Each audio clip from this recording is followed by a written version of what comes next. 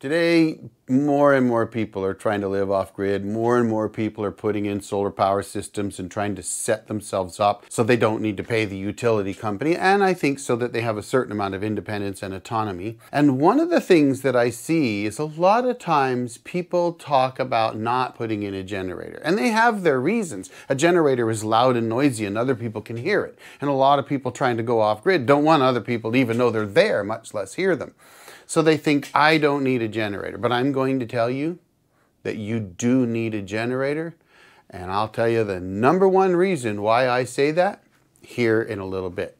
So first, let me set the background for you. I built my off-grid cabin in the woods, or I started to anyway, 15 years ago. And I put in my power 14 years ago. And it's a complete do-it-yourself solar power system. So I've got plenty of battery power. In fact, I've got more battery power than I can typically use, even in my three to five days of autonomy. Because when you build a off-grid power system, you want to build in what they call autonomy, which is the number of days you can run without sunlight. Three to five days. That's typically what people try to do. Now, if you're building an off-grid system, but you're really in the grid, or in town where you're hooked up to a grid and you don't put in battery backup, well, this video is not for you. This is for those that are building these off-grid cabins out in the woods and they're just trying to build a system that's robust and that they can run off of without any worry and frankly it's quiet and people can't hear. So why do they need a generator? Well first of all let's talk about solar power and how it works. Obviously everybody knows you get solar panels but in past videos I've made a point of saying that you don't really have solar power you have battery power. And that folks is really the key to understanding how off-grid power systems work. You have to have batteries because the sun doesn't shine 24 hours a day, 365 days a year. It doesn't. We all know that. One of the things that I always suggest to people is look up your region where you plan to build and find out how many days of sunshine you have in that area. You can find that data simply by doing a quick search. In the area that I live, it's about 265 days a year, but I live in a desert. And the other 100 days of the year are partly sunny, and you could still generate solar power on most of those days, just not as much. Because you can generate solar when it's cloudy out. But you ain't generating solar on the west coast when it's dumping two inches of rain on you in 12 hours and the clouds are black. you know, you might get a little bit, but you ain't getting much. So that's one of the first things I would say is you have a battery powered system and how well solar itself works depends on how many days of sunshine you get. If you get periods of time that are weeks or months long where you don't have any direct sun or bright sunlight, clear skies, all that kind of stuff, then you got to have alternatives. Now, some people will say, yeah, but I'm going to put in wind turbines. Well, that's okay. You can do that. But what about when the wind ain't blowing. Most wind turbines require a minimum of a five mile an hour wind to produce power, and they generally need to have 10 miles an hour or more to actually produce much power. So if you're in a place that's breezy, but it's not really windy, well, you may not actually get a lot of production from that. So how does solar work? So solar, obviously, you've got your batteries, as I said, got to have those. And the batteries are the reserve power that you're going to run off of when you have no other means of providing power. And what that means is if you've got solar panels, but it's midnight, you're not generating any power. If you've got a windmill, but the wind isn't blowing, you're not generating power.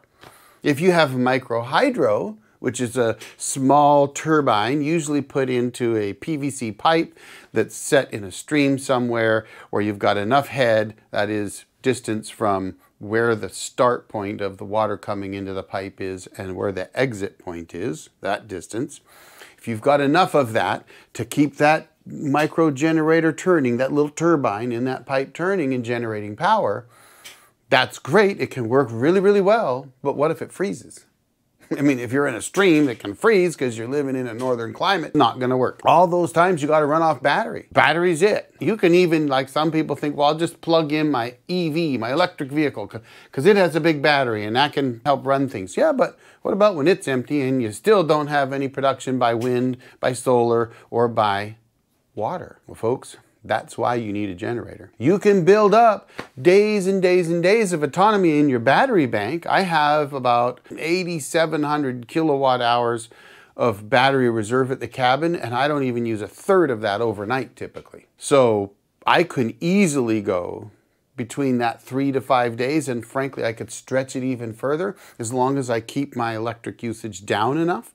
But what happens when I'm past that three to five days or six or seven or whatever it is and the sun still ain't shining? Now you might think, well, that's never going to happen. Well, guess what? Where my property is, it's an arid pine forest. That means I only get about 14 inches of rain a year.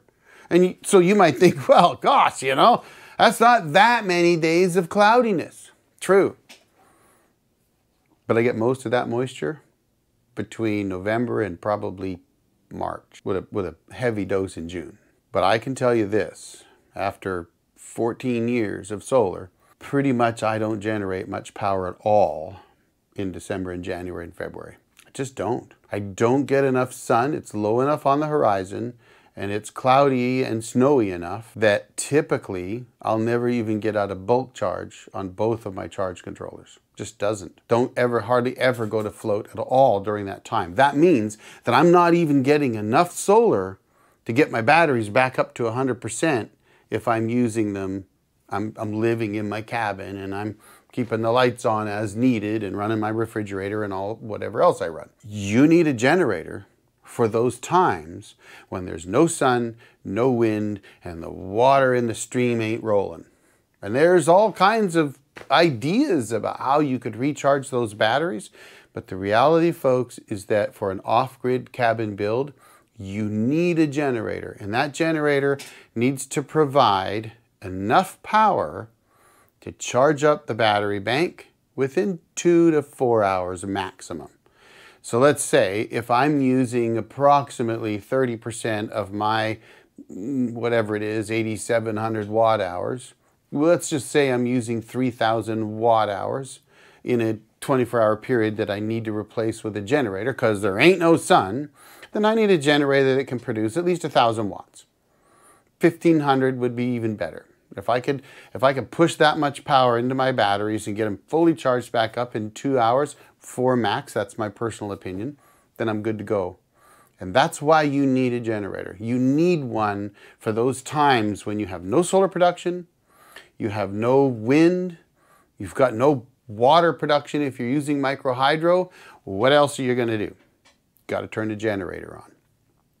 And my recommendation for a generator is to go bigger than you think you need if possible. Don't go small on a generator. If you know if you think that a 2400 watt generator is going to do it for you, get a 4K.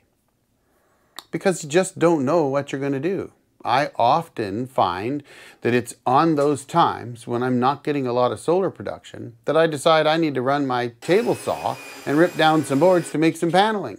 So I might as well have a generator that can handle running my table saw at the same time it's giving a full charge to my batteries. And my inverter will do that switch. It automatically will switch to shore power, which is my generator power, versus off the batteries so that the inverter is essentially providing pass-through power to the cabin from the generator and charging the batteries at the same time. So I'm not running off my batteries at that point. I'm just charging them up. So by the time I'm done using my power tools and the battery bank's all charged up, I can shut the generator off and move on. I also recommend quieter generators. A lot of people in the prep-minded community will say, yeah, but a generator makes noise and people can hear it. Well, yes, that's true. So get the quietest generator you can and try to baffle the sound a little bit if you're worried about that. But the bottom line is you're going to have to have a generator if you're living off grid. Now you could say, yeah, but I'm hooked up to the grid. So even though I'm off grid, I've got the grid as backup. Well, number one, then you're not off grid. And number two, what if the grid goes down? What if the grid goes down because we have like a massive EMP and then what? Because you can you can put EMP shields and all that fancy stuff in like I do to protect your stuff from EMP, but the grid's not protected.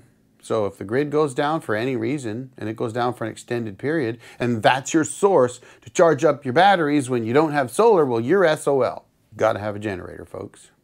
All right. Let me know what you think because I know there are some that don't agree with me. So let me know what you think. I really appreciate your watching, folks. Y'all have a great day. I'll be back to you before you know it. The old Jarhead out.